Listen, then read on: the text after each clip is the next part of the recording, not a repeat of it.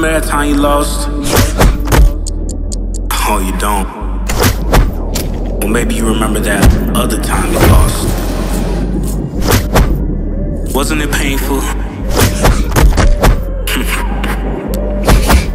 Didn't it make you mad?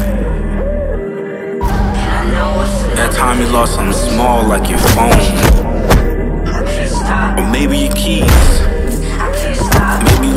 Wallet or your 20, your dog or your friend. Maybe even your parents or partner. Maybe you lost your mind. What's wrong, son? I'm tired of losing. I'm fitting the drunk, and I swear it's my time now.